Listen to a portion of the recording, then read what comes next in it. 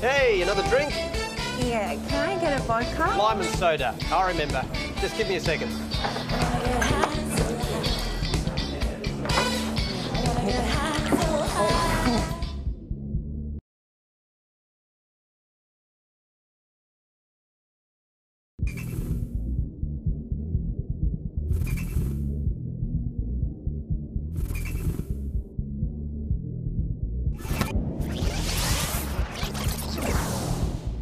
Beautiful. Take it easy.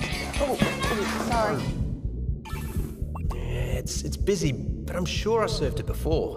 Wasn't she with her friends last time? Her coordination is a little off. I'm going to have to have a bit of a conversation with her to see if there's any other signs of intoxication. Oh, is everything okay? Where have your friends gotten to? Um, they're, they're around somewhere. Oh, oh my god, she's somewhere. Um, anyway, I'll be needing another one of those when you're ready. Please.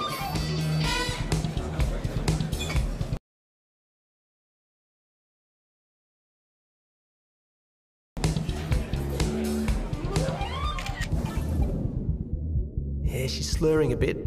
She's definitely having trouble with her balance. I'm going to have to refuse her this drink and help to get her home safely.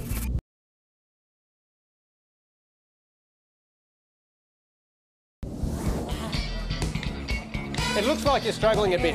I don't feel comfortable serving you another vodka. What? How about just the soda on the house? She might give me excuses. Why? I'm not even that drunk. And it's not for me, it's for a friend.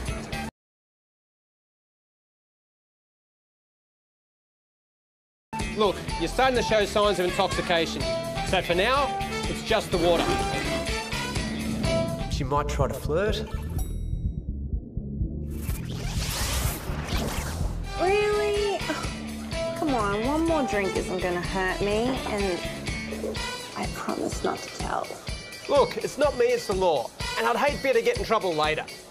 Why don't you take the soda and I'll speak to security and they can help sort out a cab so you get home safe. How's that sound? She might even try the sweet card.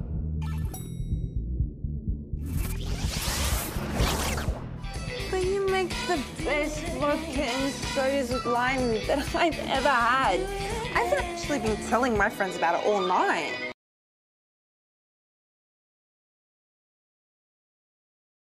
Yeah, thanks, but it's not worth me losing my job. Now, I don't want your night to end early, so take the soda and I'll get someone to help you find your friends, okay? Hey, Hope, can you help us out here, please? Thanks.